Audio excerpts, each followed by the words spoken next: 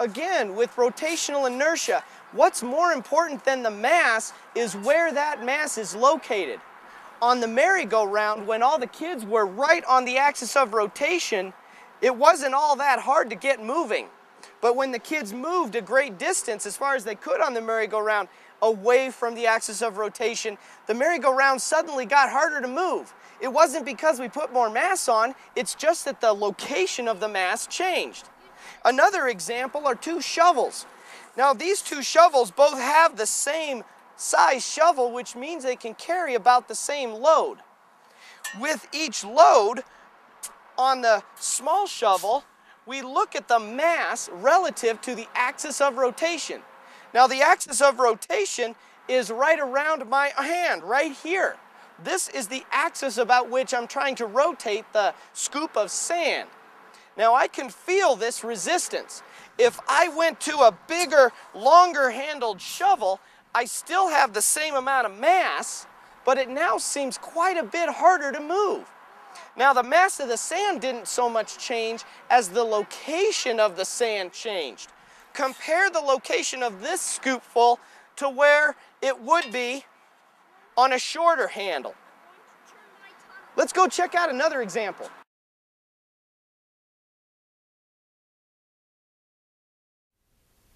We've already seen several examples in the introduction, but I want to show you some more. Check this out.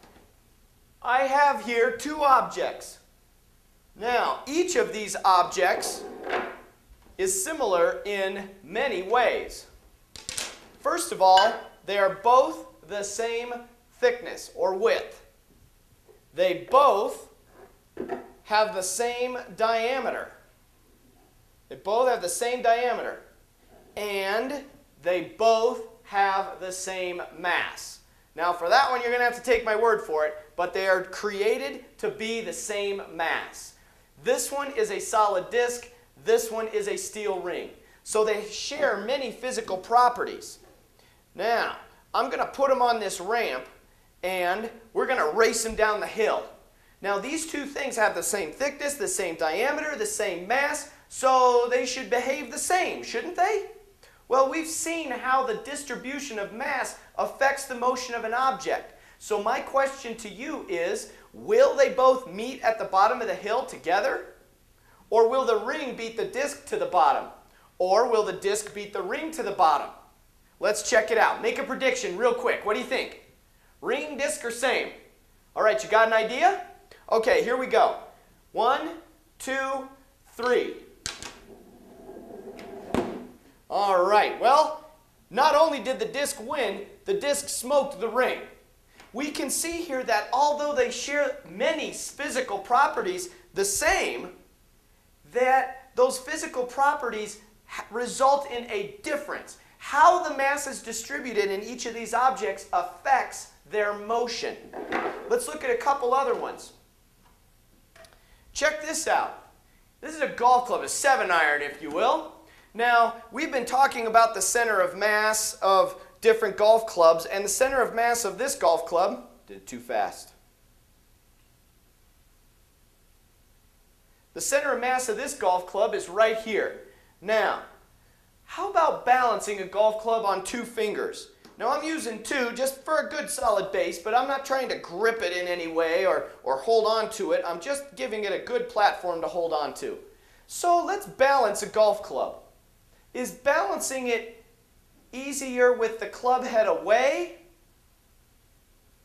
or the club head near your fingers? Seems to me that the club head is more easily balanced when it is near. Well, why is that? It's the same mass. The club doesn't change its mass in going from end to end, but we certainly do see the difference in moving the mass to different locations. How about another one? How about a pendulum? Now, you all have seen pendulums before. There's nothing to a pendulum other than a a heavy mass on the end of a string. Now if I pull this mass back and let go, you can see that it oscillates around this around the standard of the ring stand. Just vibrating back and forth, back and forth. Well, what would happen if I decreased the radius, pulled it back again to the same distance, and let go. Boy, it vibrates a whole lot quicker than when way down here. Why is that? It's the same mass, but the mass is in a different location. Well, we're going to spend this lesson focusing on the impact of the location of mass when an object is in motion. Before we can quantify, before we can create an expression that tells us how the mass differs by location, let's first consider what it takes to get an object in motion. These discs, this pendulum, this golf club. Well, let's begin by talking about the golf club.